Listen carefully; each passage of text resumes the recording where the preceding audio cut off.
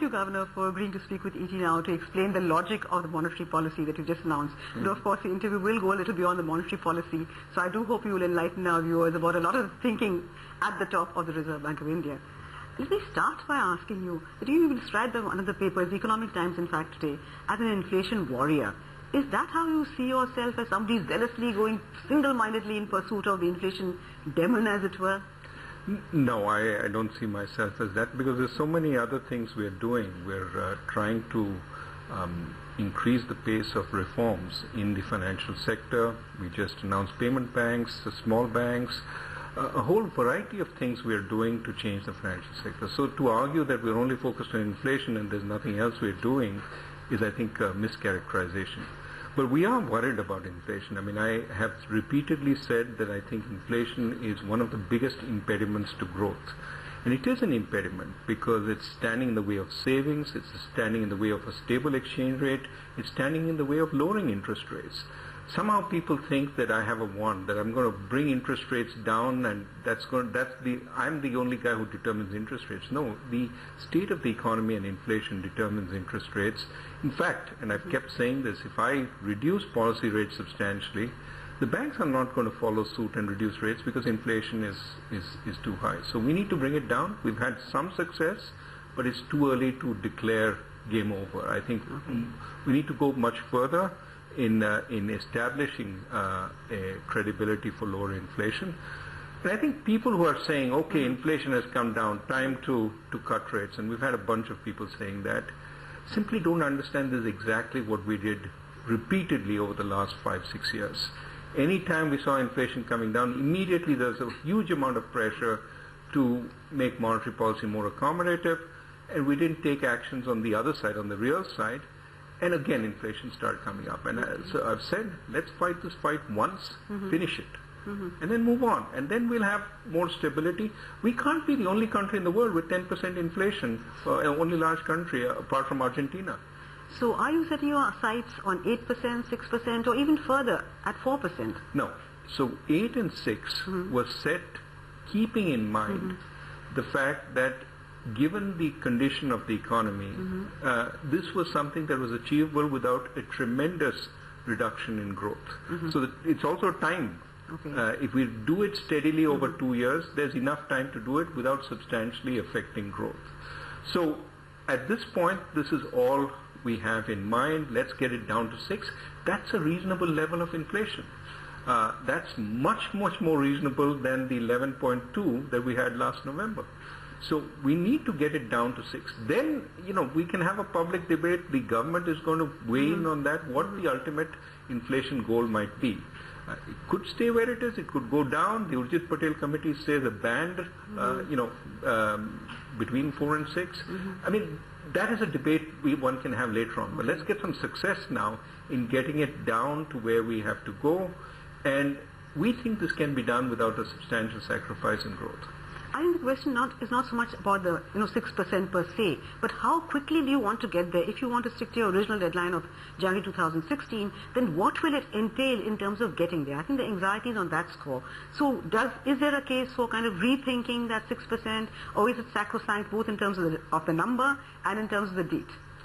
See, um, we had a bunch of very smart people, uh, the best monetary people in in India on the Urjit Patel committee, and we had some outside, uh, uh, you know, observers also.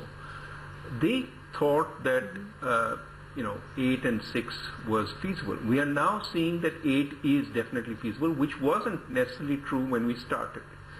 So, uh, given that eight is feasible, I think it's premature to say that six is not. Let's abandon it. Let's think about something else we are quite determined mm-hmm. that six at the end of the year. So you're right that mm-hmm. the time and the uh, number mm-hmm. are what we are trying to to achieve. Mm-hmm. Of course, if some big shock buffets us off the path, uh, we will have to recalibrate if necessary. But with normal shocks, we think six should be achievable.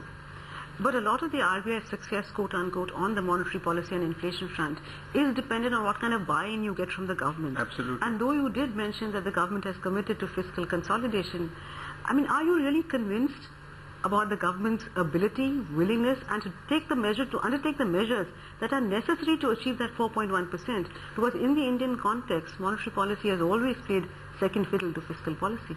Well, I think, um, you know, I, I also think that monetary policy shouldn't use government actions as a crutch to abandon its responsibility. I've said repeatedly that the government has to do what it has to do and we have to do what we have to do.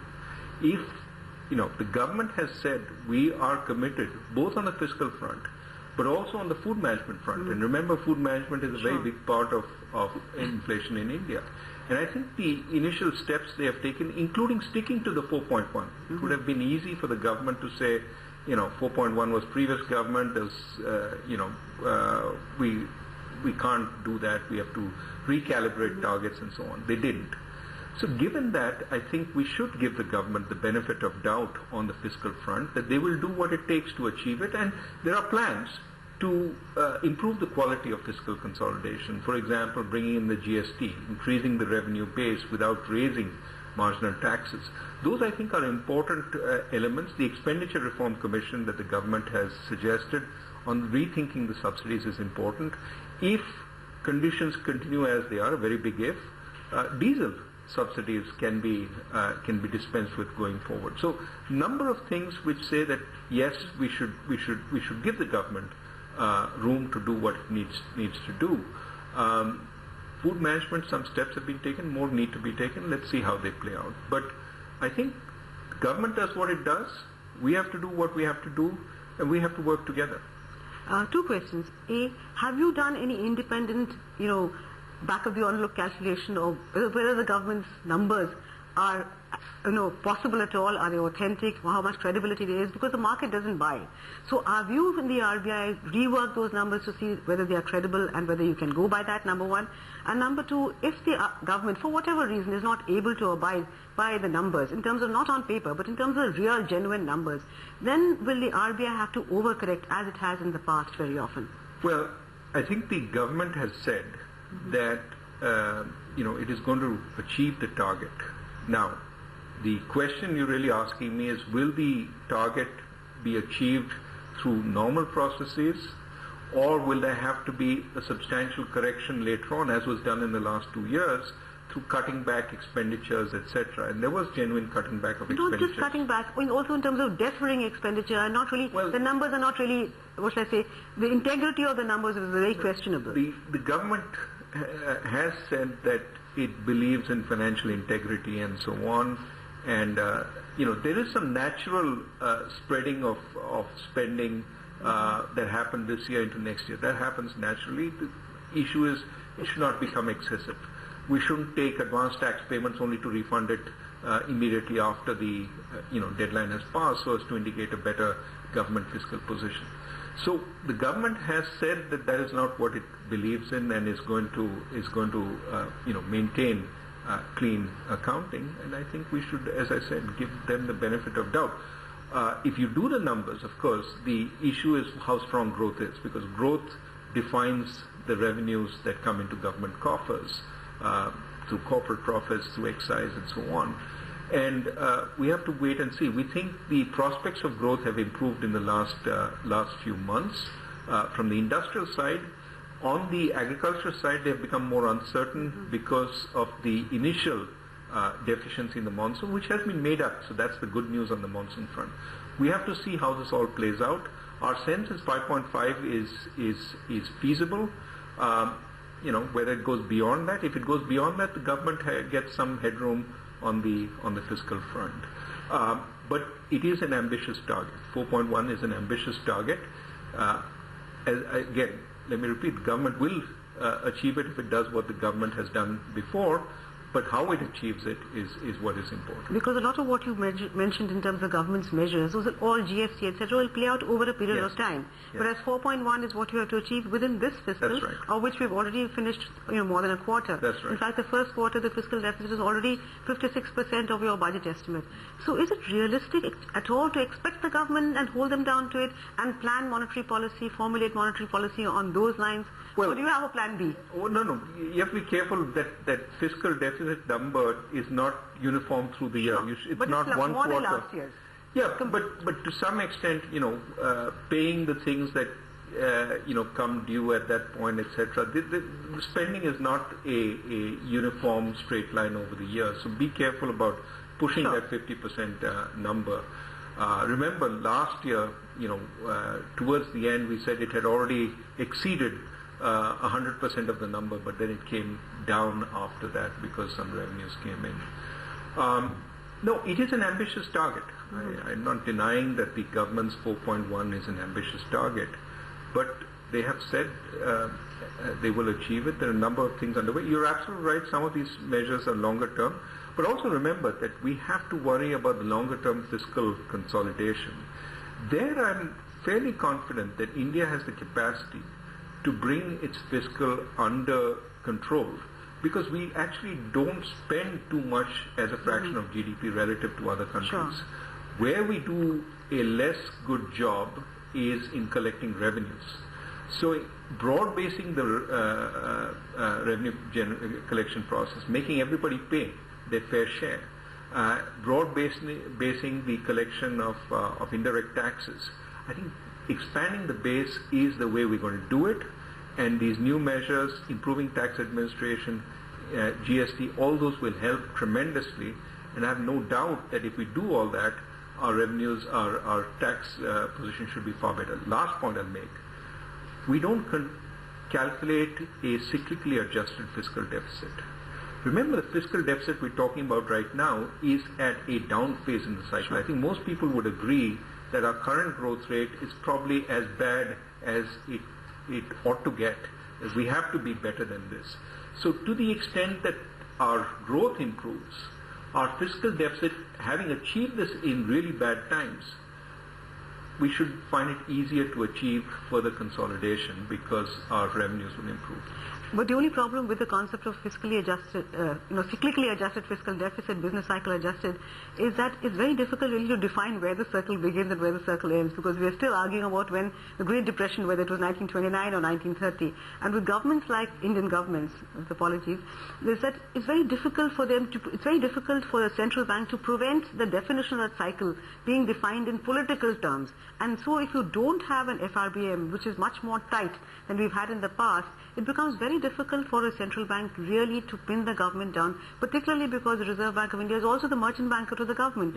So you've intervened and allowed devol- devolution of auctions at a time when maybe you should make the government pay the price for its fiscal imprudence. No, I, I, uh, so there were other factors because of these uh, new bonds, old bonds, Sure. etc., in the recent devolution. So I don't think you should read too much into that. As uh, you know, uh, the Reserve Bank is now uh, turning, um, you know, a new chapter in, in government finances. No, I, I think we should just leave it as a technical issue. Um, I think the I was not suggesting that FRBM targets be set on a fiscally adjusted basis, uh, on a cyclically adjusted basis, because there are problems in measuring the cycle. I agree with that. What I was saying is, don't be too pessimistic about the fiscal deficit today, because we are at a low point of the mm-hmm. cycle, mm-hmm. and to that extent, as the cycle improves, as mm-hmm. growth picks up, we should see some natural Okay. uh, consolidation that happens. We keep talking about 2007 as a point when our fiscal deficit came down Absolutely. substantially. A fair amount of that Was was, also on the basis of very strong revenues because the cycle was strong. So we, we should keep that in mind. And the flip side also applies. When the fiscal deficit narrows because of those uh, revenue improvements, we shouldn't turn around and spend it all. uh, Absolutely, which is what we did in the past. But that means you're not as cynical as journalists are and observers are about government's fiscal management plans, and you don't have a plan B as things stand. You're willing to go along with the government's have numbers. plan Bs. We don't reveal you don't plan reveal them, okay. But I do hope you have something up your Yeah. sleeve. But to come to the question, Governor, of you know the RBI having to you know, straddle two horses, growth and inflation, as it were, price stability. Between these two broad objectives, apart of course from financial stability and things like that, on which of these do you think you have a longer way to go? Is it growth that worries you more, or is it inflation that worries you more? I'm, um, I, I usually would say, look, uh, uh, inflation, lower inflation is the way to grow. But uh, but I'm I'm cognizant of the fact that the economy is weak. I think the latest signs uh, suggests that growth is is picking up. Um, not so much reflected in corporate profitability, uh, but you see, you know, early signs in the industry side. Um, electricity generation has been quite strong. Um, if the monsoon is not too bad and agriculture plays a little bit of a part, not as big a part as it did last year, but a little bit of a part, I think 5.5 uh, for this year should be achievable, but the path, the trend toward, will be towards stronger growth. Uh, I have said repeatedly, I'll say it again, the cost of money is not the biggest impediment to growth now. It is a combination of subdued uh, investment uh, and to some extent subdued uh, sentiment Okay. pre-election. Now, as the post-election uh, stronger sentiment starts kicking in, one might hope, and early signs are in, in the automobile sector, uh, there is some pickup. One might hope that that pickup becomes more broad-based. And so I'm uh, a little more hopeful about growth. Okay. Now, inflation numbers have been quite good in the last couple of months. Vegetable in- statistical, but vegetable, in- some of it is base effects, which is just plainly statistical, but vegetable prices uh, picked up. Some of it is a seasonal pickup, some of it is more than seasonal. We have to wait and watch uh, and see as we go into August, September, October. Our sense is because of the statistical effects, inflation year on year will come down Mm-hmm. as we go to November and then mm-hmm. start picking up. Mm-hmm. The key is how much it picks up after that. And you know, if if in fact all these forces of disinflation start playing in, hopefully uh, the economy will be in a reasonably good position on the inflation front also. But right now, I think we are probably, uh, if you wanted to, 60-40 growth versus inflation. Okay. Now, this government, you spoke about political stability and how the government is doing its bit on the supply side. It's been in office for about two months. How would you like to categorize your relationship with the government? Better? Is it better with this government, relatively speaking? Can I pin you down? In no, you can't way? pin me down. I, I think Okay. the RBI enjoys a good relationship with the government, Mm-hmm. had a good relationship with the past government also, and we communicate on a Mm-hmm. on a, a daily basis. And it's you know multiple uh, channels. It's with the uh, bureaucracy, which hasn't changed uh, uh, much. Mm-hmm. Uh, uh, certainly at the ministry level since the last government, uh, but even uh, um, you know um, uh, the the personalities uh, who change. I mean, the the dialogue is an ongoing dialogue. I don't think. Uh, um, I mean, we're a technical organization. Uh, we do what we need to do, and we try and explain and work with uh, the government of the day. Absolutely, but except that the advice must not fall on deaf ears because you mentioned the fact that the government and the RBI are on the same page. That is not a statement that you made earlier. Of course, there's nothing which says that just because you didn't make it earlier, you didn't have a you know better rap, a worse rapport, or a better rapport now. But is there anything in this particular setup which makes you feel that there is greater buy-in from the government on inflation control? I, I would not. I would not term it as greater buy-in. Okay. I would. I would say we enjoyed a healthy relationship with the last government. We enjoy a healthy relationship with the current government, and I won't put it as greater, lesser, or whatever. Is there a greater concern about inflation? Can I let me put it that way? I think there uh, there has been uh, you know uh, across uh, political uh, the political spectrum concern about inflation. In fact, today I think in your paper uh, um, wrote about uh, you know the MPs seeing the price of uh, food in the canteen. Uh, suddenly recognizing that uh, that it had been subsidized for a long time and they didn't see the full full price. Inflation is a con- concern across the board, and every government worries about uh, bringing inflation down. The key issue that is often discussed is what is the relative impact of government measures versus interest rates. I think over time, as we see core inflation coming down, we have to recognize the impact of both government actions in narrowing the deficit as well as RBI actions in in uh, having an interest rate that is that is reasonable. Okay, so it's just that I'm in today's scenario a little bit more confident about government doing whatever is necessary on the supply side, which makes it easier for you perhaps to handle the demand I think the government has Okay. uh, talked about its determination to do what is necessary on the supply side. Uh, uh, again, Uh, some actions have been taken, but more have, have to be taken. Okay. I mean, uh, let me give you an example that uh, we've, we've talked uh, even in the previous government about selling grain uh, to bring down prices. Uh, but we have to do it in such a way that it does bring down prices. And uh, sometimes, uh, you know, uh, there are uh, statements made about selling large amounts of grain, but unless it's done in an effective way, uh, it can, you know, it can it can have uh, limited effect. So implementation is really what is uh, what is key.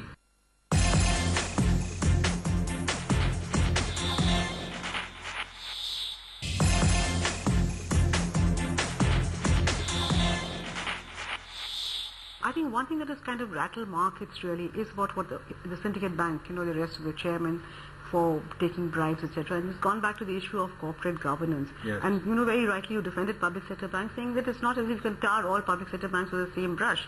And frankly, the entire issue of corporate governance, would you agree is slightly overplayed because you did have Ramesh Gelli and Global Trust Bank, which is a private sector bank, and exactly the same issues arose. So my first question is, is is it very naive and simplistic to assume that public sector banks' corporate governance suffers because of the ownership? Or is that, uh, does one need to take a slightly more nuanced view, in which case the PJ Nayak committee report, would that really be a solution where if you had a hands-off relationship?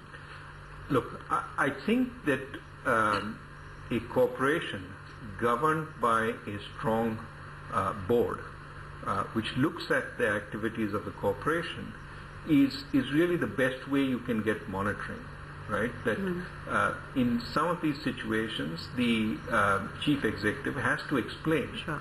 what he or she is doing on a regular basis. The board has to be informed, has to see what is happening, and the board is close enough to, you know, smell uh, things going wrong and can act. Now, if the board is weak in a private sector entity, you can get Exactly malfeasance. yes. If the board is weak in a public sector entity, you can get malfeasance.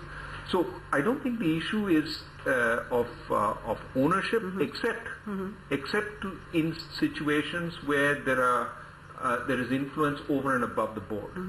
To the extent that influence is exerted only through the board, and the board is uh, made up of uh, you know um, um, sensible, capable people. Uh, I think that you can have both kinds of ownership. Uh, similarly, from the CEO's perspective, there should be a sufficiently long term so that the CEO can do what is right. And finally, I think we have to revisit the issue of compensation. That uh, you know there is this uh, sense that uh, bureaucrat salaries should be the ceiling for salaries throughout the system. But if you have an entity which is largely being uh, managed in a in a private sector sense, But are the public sector banks really being managed in a because you ask them to do financial inclusion, open their branches, priority you're sector, saying they're doing more they in do, fact than in the- that. They, they do very much what are social objectives. What so, I'm saying is when you Huh. put hmm. somebody in charge hmm. of four or five lakh crores hmm. of assets, and you tell them that, uh, okay, I'm putting you in charge, and there's their guy across the street who's also in charge of four or five lakh crores, but I'm not going to pay you anywhere near, I'm going to pay that guy. I'm going to pay you uh, the way somebody who's, uh, uh, you know, um, uh, who's in the bureaucracy is being paid. Uh, that also has an It's not a reason, Governor. You must be getting a fraction of what you would have got in the IMF. So that is not a reason, I think, for bank chairman doing No, you know, no. unethical things. I- I'm not defending the Yeah. unethical things. Hmm. You talked about governance. Yeah, governance, I am talking hmm. about the fact that we have to have, uh, and Market let, let me add the last. Uh, hmm. market salaries come along with market. Uh, I'm not saying it has to go up to market. I'm saying the differentials are so wide at this point. You have to pay a little more, but also. You're talking about a compensating differential. People in the public sector do what they're doing because of a sense of, of, of duty. Absolutely. There- and, And there are I'm many telling things you, that are not monetized. and I'm telling you, there are a lot hmm. of people in the public hmm. sector who do that. Hmm. But what I'm saying is, in the uh, public sector, and be able to attract people from the private sector to do these kinds of things, you have to constantly review the differentials to make sure that they're not going overboard. Okay. And, and that's where I, I think we have to revisit this, this sense. After improving uh, board governance, etc., uh, we have to review the sense that salaries in the public sector can never uh, be substantially different from salaries in, in the government because those there are two different opportunity sets. Okay. And you're talking about compensating differentials. There are compensating differentials there also. So, uh, I mean, don't get me wrong. I'm not justifying Yeah. corruption by saying salaries in the public sector are too low. So if you want to get the best, you have to kind of... And I would say that accompanying a change, Okay.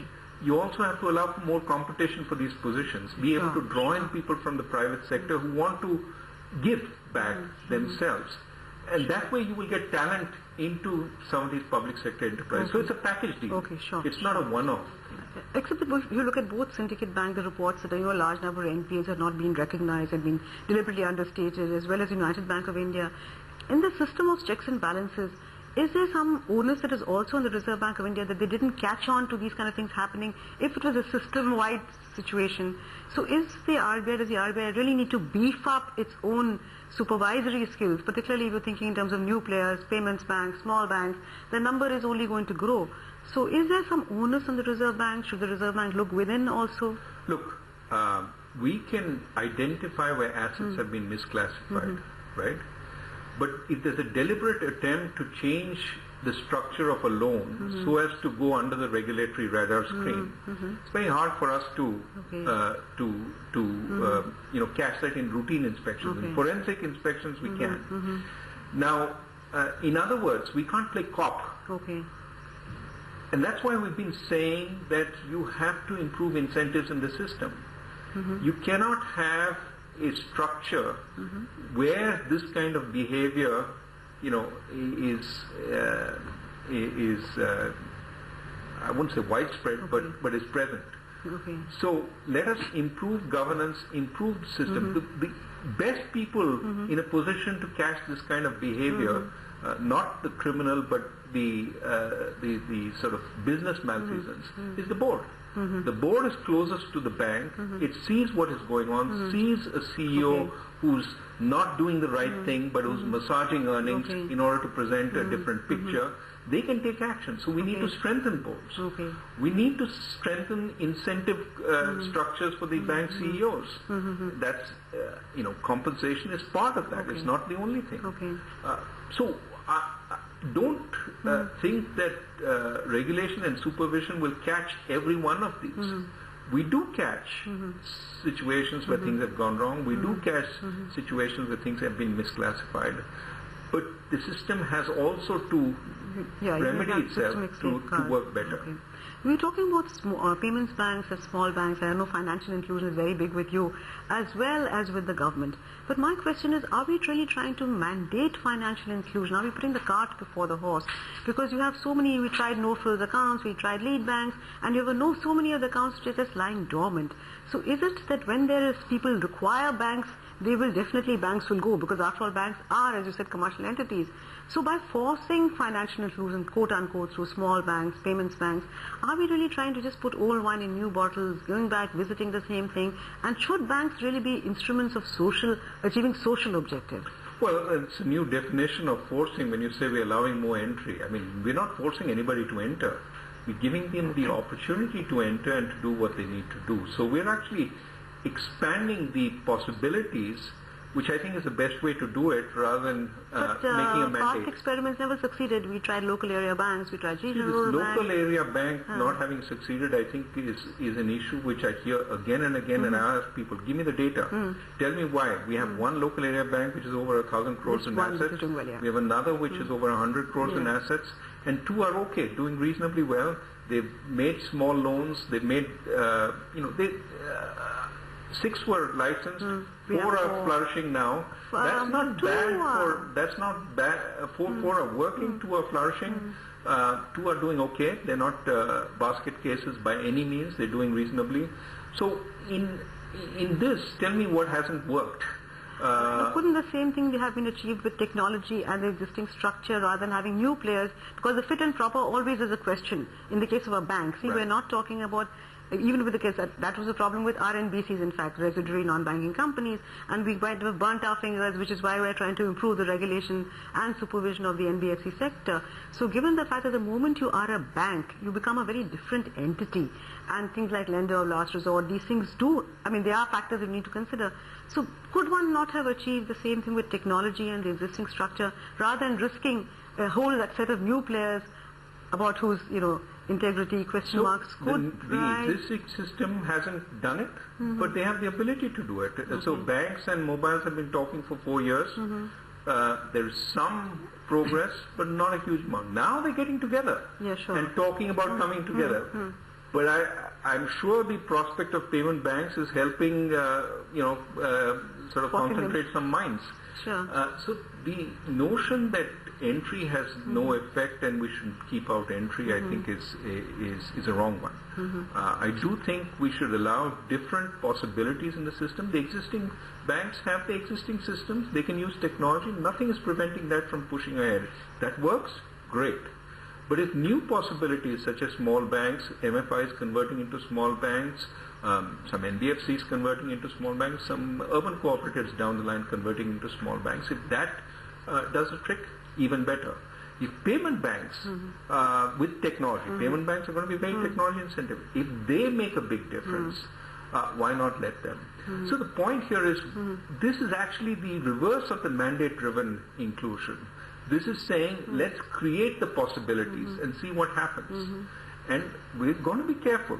Uh, we're not going to throw fit and proper out of the window while licensing these banks, and we're not going to license a thousand small banks. When are your new guidelines going to come for the new banks? Well, we have revising- comments till the end of this month. Okay. And hopefully soon after we will put out the guidelines as well as a deadline for applications. Do you have any day, day date in I, we haven't uh, uh, formulated that uh, precisely, but I'm hopeful that we should uh, start the process of, uh, of going through the applications by the end of the year or the beginning of next year and come out with licenses. Mm-hmm. So that is for your universal banks? Uh, no, for the for the payment banks and the small banks. And what about the original guidelines for universal banks? You said We will look at those, but, but you know, in terms of sequence, we'll do first the small Okay. banks and the payment banks. Once And we're done with that, Okay. we'll look into new universal banks. Uh, so the reason why I told you about financial inclusion mandating was the government is very gung-ho on the 7.5 crore accounts that they want banks to open.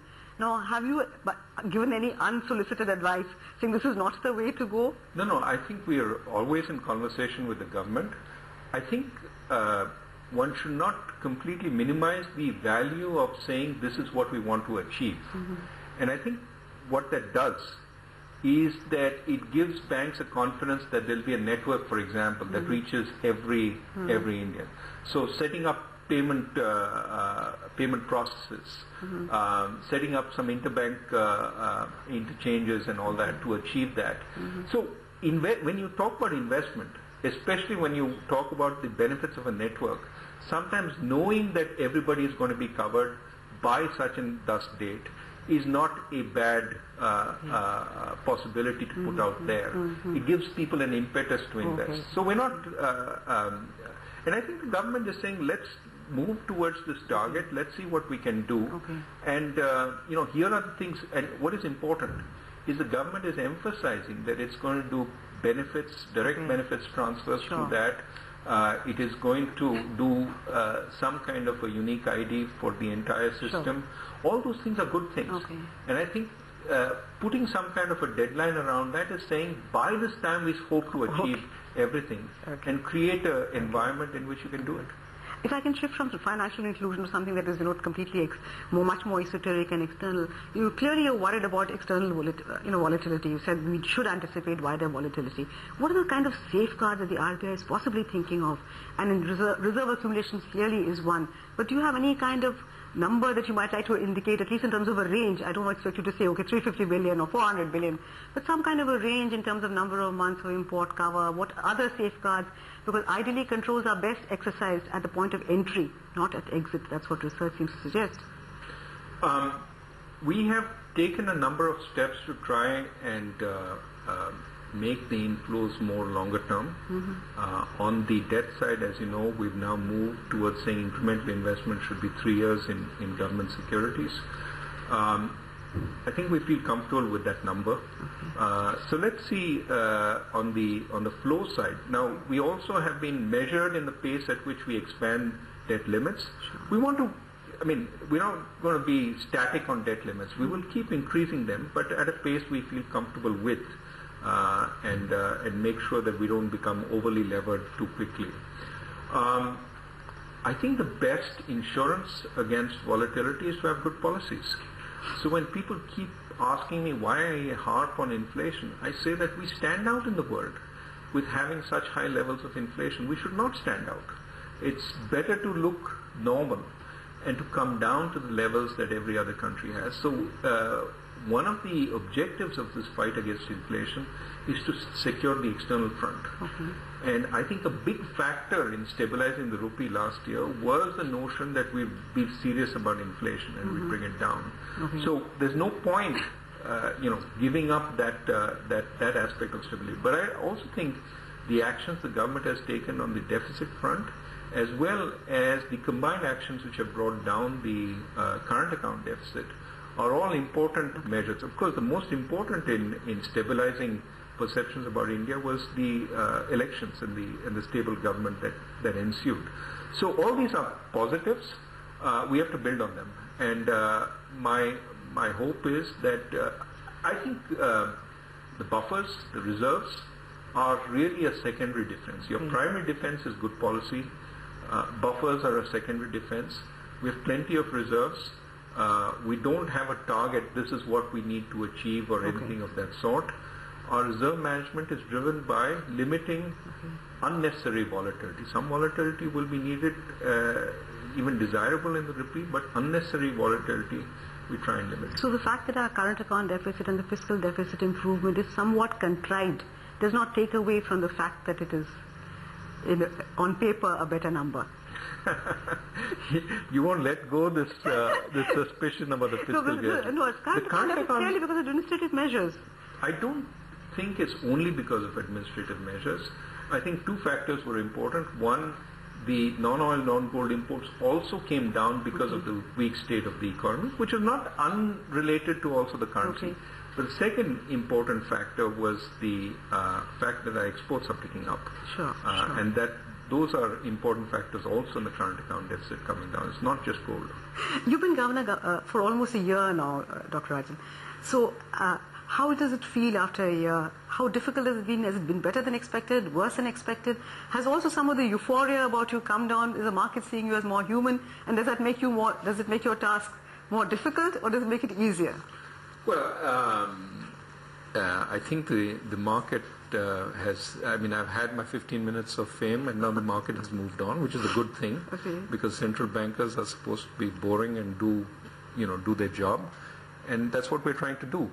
Um, we're doing. We're working on a number of fronts, and, and I think uh, we uh, are certainly trying to reform the banking sector in a in a substantial way.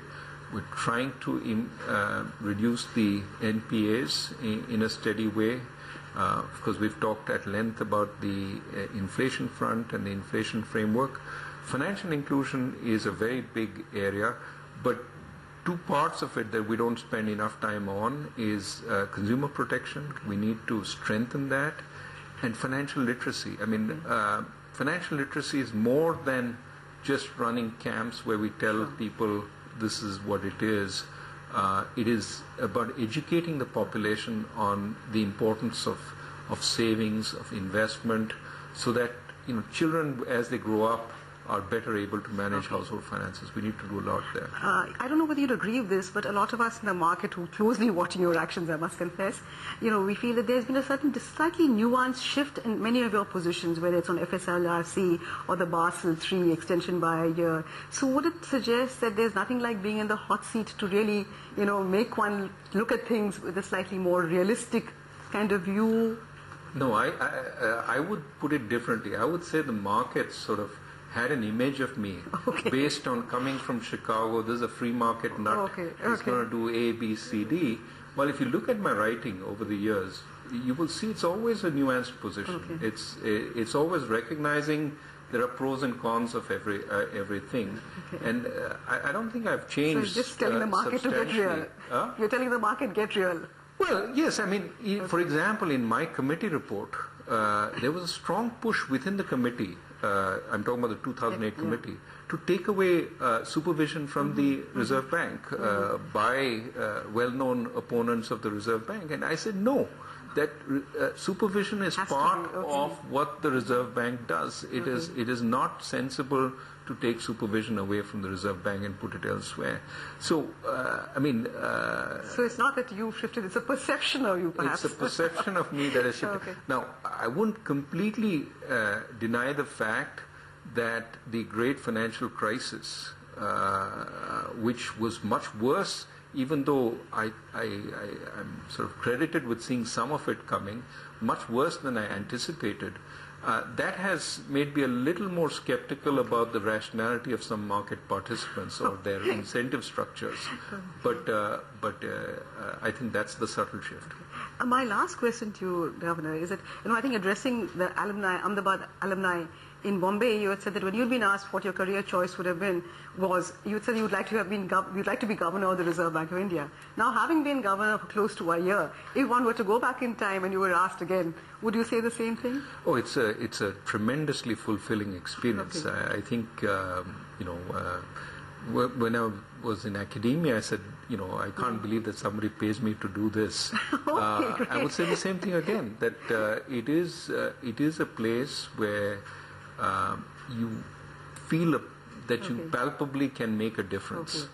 And so, absolutely, there's So a no I- second thoughts about having sleepless nights. well, sleepless nights are not over the job. Sleepless nights are about actions that you have to take. Okay. But uh, but uh, no, this is this is a great experience. Great talking to you. Thank you. It's been really great. Thank, you so much. All the best.